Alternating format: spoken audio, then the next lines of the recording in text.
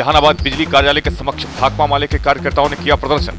किनारी गोडिया और जामुक पंचायत के ग्रामीण प्रदर्शन में थे शामिल। ट्रांसफार्मर लगाकर बिजली सेवा बहाल करने की प्रदर्शनकारी कर रहे थे मांग। विजयनगर स्थित साईं बाबा मंदिर परिसर में बैठक का हुआ आयोजन। मंदिर स्थापना के तीन साल पूरे होने पर 8 फरवरी को होगा भव्य कार्यक्रम। मंदिर कमेटी के सदस्यों को तैयारियों को लेकर सौंपी गई जिम्मेवारी। जनता दरबार में डीएम मोहम्मद सुहेल ने कई मामलों का किया निष्पादन। एरकी मदारपुर मोहल्ले में जनगणना नहीं होने की शिकायत लेकर आए थे लोग। और जहानाबाद के दांगी नगर मोहल्ले में मनाई गई स्वर्गीय यदुनंदन महतो की 111वीं जयंती।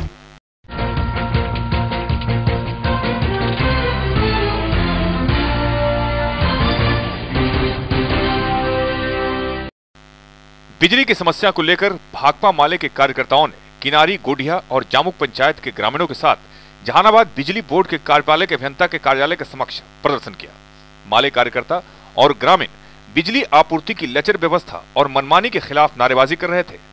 प्रदर्शनकारियों का कहना था कि आश्वासन देने के चार माह बाद भी ट्रांसफार्मर नहीं लगाया गया और न ही बिजली के पोल और जर्जर तार बदले गए। ऐसी हालत में ग्रामीण बिजली की सुविधा से वंचित है, जबकि कनेक्शन धारियों को लगातार बिजली का बिल दिया जा रहा है। प्रदर्शनकारियों ने अपनी समस्याएँ कार्यपालक अभियंता के समक्ष रखी और शिकायत किया कि ट्रांसफार्मर लगाने के लिए ग्रामीणों से रुपए की मांग की जा रही है, जो उचित नहीं है।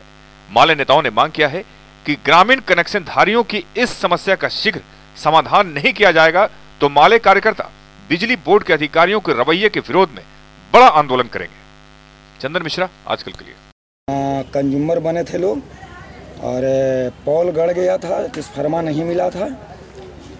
ट्रांसफार्मा तोड़ नहीं मिला था तो हम लोग प्रदर्शन किए तो उसमें सदर एस साहब आए थे कंप्रोमाइज किए थे कि पंद्रह दिन में आपका ट्रांसफार्मा लग जाएगा।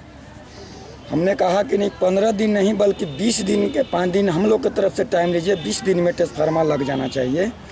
लेकिन 20 दिन में भी ट्रांसफार्मा नहीं लगा, चार महीना हो गया और हम लोग दो दिन पहले तक आए हैं। तब डार्क में स्कूटी रख ले रह गए कि आपके यहाँ काम हो गया है, ठेकेदार को खाली रिसीव करना है, जबकि कोई काम नहीं हुआ है। उनका जो है एसडीओ है, वो हमेशा मैं कहते रहा कि देखिए, बगैर कुछ खर्चा के लिए आपका नहीं होगा, खर्चा कुछ देना पड़ेगा तो वहीं होगा। हमने कहा कि खर्चा किसी भी हालत में हम लोग नहीं देंगे।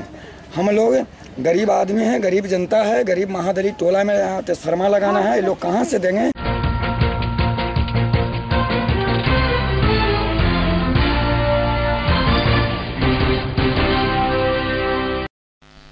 जहानाबाद एरोड्राम के समीप दरधा नदी के पूरब, विजयनगर में साईं बाबा के मंदिर के स्थापना हुए तीन साल होने जा रहे हैं। आठ फरवरी को यहाँ तीसरा वार्षिकोत्सव समारोह होने वाला है। समारोह को व्यापक पैमाने पर सफल बनाने के लिए साईं बाबा मंदिर कमेटी के द्वारा अभी से ही तैयारियाँ शुरू कर दी गई है। वार्षिकोत्सव समारोह को लेकर ही यहाँ मंदिर कमेटी के सदस्यों की एक बैठक की गई। मंदिर के संस्थापक आकाश मिश्रा सहित कमेटी के कई सदस्य बैठक में उपस्थित हुए।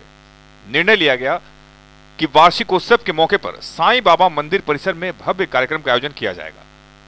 वार्षिक पूजा के बाद प्रसाद वितरण और सांस्कृतिक कार्यक्रम जागरण में उमड़ने वाली भीड़ को देखते हुए कई इंतज़ाम किए जा रहे हैं। सुरक्षा बलों के अलावा मंदिर के स्वयं सेवकों को भीड़ को नियंत्रित करने और कार्यक्रम को सफल बनाने के लिए जिम्मेवारियाँ सौंपी जा रही है। चंदन मिश्रा, आजकल के लिए। आठ फरवरी को साईं बाबा का तृतीय तृतीय वार्षिकोत्सव है। उसके लिए जितना भव्य से भव्य हो इसी के लिए आज हम लोग अपना मीटिंग रखे हैं। और आगे अब हर एक हफ़्ता इसी मीटिंग करके आठ फरवरी का कार्यक्रम है इस बार डेढ़ लाख आदमी का व्यवस्था। बैठक में जो आयोजन करना है विशाल भंडारे का और बहुत सा सांस्कृतिक कार्यक्रम बाबा के मंदिर से नज़र यहाँ पर बैठक चल रही है। तैयारियाँ जोरों पर है। पूरे जहानाबाद वासियों को का इस पर निमंत्रण भी है। उन, उनसे भी अपेक्षित है कि वो काफ़ी सहयोग करें हर सात साल की बात है। जो भी साई भक्त हैं यहाँ इकट्ठे हों। कार्यकर्ताओं का निर्देशन नहीं हो रहा है कि किस प्रकार से वो बैठक हो किस प्रकार से इतने बड़े कार्यक्रम का संचालन किया जाएगा उसी के बारे में बैठक की जा रही है किसको कितना वॉल्टियर्स होंगे? पचास से इक्यावन वॉल्टियर्स होंगे हमारे पास जिसमें कई महिलाएँ होंगी। जिसके कारण ये कार्यक्रम काफ़ी सुचारू रूप से संपन्न हो। बाबा की कृपा हो।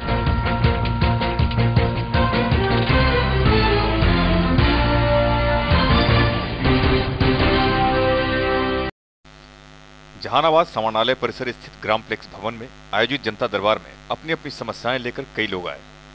डीएम मोहम्मद सुहेल ने शहरी और ग्रामीण क्षेत्र से आए लोगों की समस्याएँ सुनी और उनके आवेदन लिए।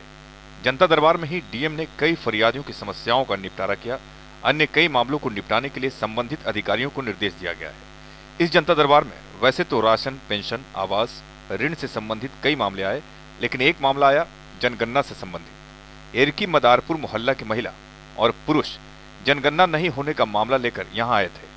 नगर परिषद क्षेत्र के वार्ड नंबर 29 में एरकी मदारपुर मोहल्ला है। इस मोहल्ले के लोगों की शिकायत है कि इनके मोहल्ले में जनगणना हुआ ही नहीं। कोई भी जनगणना कर्मी यहाँ नहीं आए, लोग इस संबंध में डीएम को ज्ञापन देने आए थे। चंदन मिश्रा, आजकल के लिए। कि हमारा गाँव पूरा छूटा हुआ है, आर्थिक जनगणना नहीं हुआ है। घर एरकी मदारपुर वार्ड नंबर उनतीस। तो सर मैं और सब गाँव अगल बगल में हो गया है लेकिन मेरा गाँव पता ना सर काहे छोड़ दिए हैं। यहाँ कहाँ आए हैं? हम लोग आए हैं सर यहाँ डीएम सर से मिलने के लिए। होता है? मेरा दिक्कत है कि हमारे गाँव में 300 घर के बस्ती है जहाँ एको को जनगणना हुआ है सौ आधा दूर छड़ के, के तीन चार गाँव किए हैं बाकी हमारे के यहाँ नहीं किए। और हमारे के यहाँ सब कार्ड भी सब मैंने नहीं बना है हम लोग सब व्यस्त हो रहे हैं। हम लोग डीएम साहब के यहाँ दरखास्त दे रहे हैं कि आप हमारा जनगणना किया जाए। कितना लोग का भी छूटा हुआ? तीन सौ में तीन सौ कम से कम। हाँ तीन सौ से कम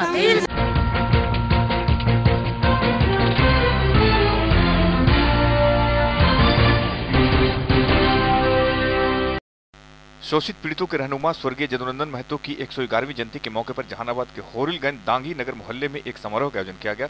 इस जयंती समारोह में कई प्रबुद्ध लोगों के अलावा दांगी समाज के लोगों ने समारोह में स्वर्गीय यदुनंदन महतो के छाया चित्र पर माल्यार्पण किया और उनके व्यक्तित्व पर प्रकाश डाला। लोगों ने कहा कि यदुनंदन बाबू शोषितों, पीड़ितों, अल्पसंख्यकों और महिलाओं के उत्थान के लिए सदैव संघर्षरत थे। चंदन मिश्रा आजकल के लिए। हम लोग प्रतिवर्ष जदुनंदन महतो जी जो त्रिवेणी संघ के संस्थापक रह चुके हैं और शिक्षाविद रहे हैं, खासकर नारियों के उत्थान का उनका बहुत बड़ा योगदान रहा है। हर समाज के प्रति रहा, नारियों के उत्थान में उनका इतना जोड़ था उस समय कि स्वयं जब अपने वो तीनों बच्चियों को उच्च शिक्षा के लिए प्रेरित किए